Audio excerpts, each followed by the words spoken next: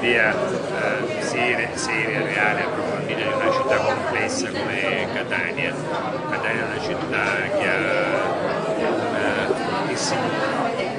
presenza industriale, commerciale di vario genere, anche la città dove c'è il più elevato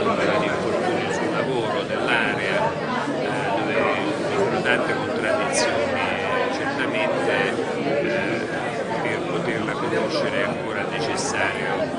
lavorare e quello che stiamo facendo anche con le procure nella riorganizzazione del nostro ufficio. Teniamo conto di tanti aspetti prioritari da quelli della pubblica amministrazione, quindi dal controllo della legalità in questo settore a quello dell'ambiente, quindi